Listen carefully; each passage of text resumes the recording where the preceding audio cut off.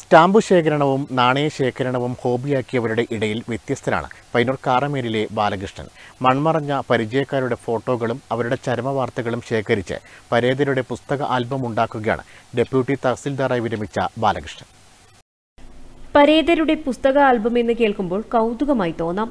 എന്നാൽ തന്റെ സഹപ്രവർത്തകരോ അടുത്ത ബന്ധുക്കളോ സുഹൃത്തുക്കളോ ഒക്കെ പെട്ടെന്നൊരു നാൾ മരണപ്പെടുമ്പോൾ അവരുണ്ടാക്കുന്ന ശൂന്യതയെ മറികടക്കാനായാണ് പരേതരുടെ ഫോട്ടോകൾ വെട്ടിയൊട്ടിച്ച് കാരമേലിലെ ബാലകൃഷ്ണൻ പുസ്തക ആൽബമാക്കി സൂക്ഷിക്കുന്നത്.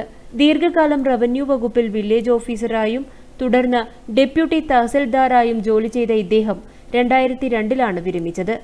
അന്നുമുതൽ ഇങ്ങോട്ടാണ് മൺമറഞ്ഞു പോകുന്ന തന്റെ പ്രിയപ്പെട്ടവരുടെ മരണവാർത്ത പത്രത്താളുകളിലെ ചരമക്കോളങ്ങളിൽ നിന്ന് വെട്ടിയെടുത്ത് ഒട്ടിച്ച് സൂക്ഷിച്ചു തുടങ്ങിയത്.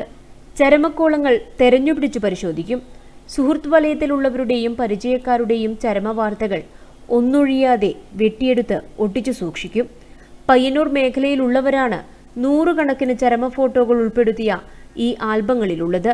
എന്റെ കൂടെ വർക്ക് ചെയ്തവരും അതുപോലെ എന്റെ മേലുദ്യോഗസ്ഥരും ഞാനുമായിട്ട് ഇടപഴകുന്ന മുഴുവൻ സുഹൃത്തുക്കളുടെയും ഫോട്ടോ മരിച്ചുപോയ ഫോട്ടോ ഒക്കെ പത്രത്തിൽ കണ്ട സമയത്ത് ഒരു ഫീലിംഗ് ഉണ്ടാവുകയും അതിനനുസരിച്ച് ആ ഫോട്ടോകൾ മുഴുവൻ ശേഖരിച്ച് ഒരു ആൽബമാക്കി സൂക്ഷിക്കണമെന്ന ഒരു ഐഡിയ വരികയും ചെയ്തു.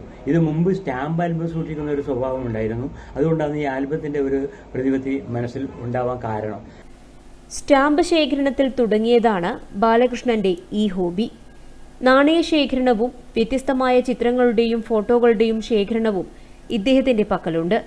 എല്ലാം വൃത്തിയായി ഒട്ടിച്ച് അടിക്കുറിപ്പും നൽകിയിട്ടുണ്ട്. യാത്രാ വിവരണവും കവിതകളുമടക്കം മൂന്ന് പുസ്തകങ്ങളുടെ രചയിതാവ് കൂടിയാണ് ഇദ്ദേഹം. അക്ഷരശ്ലോകവും പുരാണ പാരായണവും സാംസ്കാരിക പ്രവർത്തനവുമൊക്കെയായി മുന്നോട്ടു പോകുന്ന ഇദ്ദേഹം നിലവിൽ ആധാരമെഴുത്ത് മേഖലയിലാണ്. സി പി ചന്ദ്രികയാണ് ഭാര്യ. സന്ധിയും ശാന്തിയും മക്കളാണ്.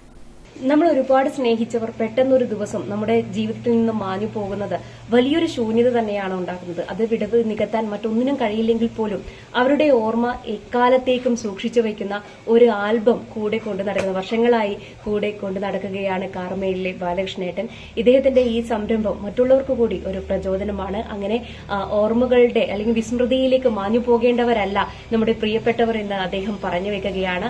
നെറ്റ്വർക്ക് ന്യൂസിന് വേണ്ടി അന്നൂരിൽ നിന്നും കെ എൻ വർഷ.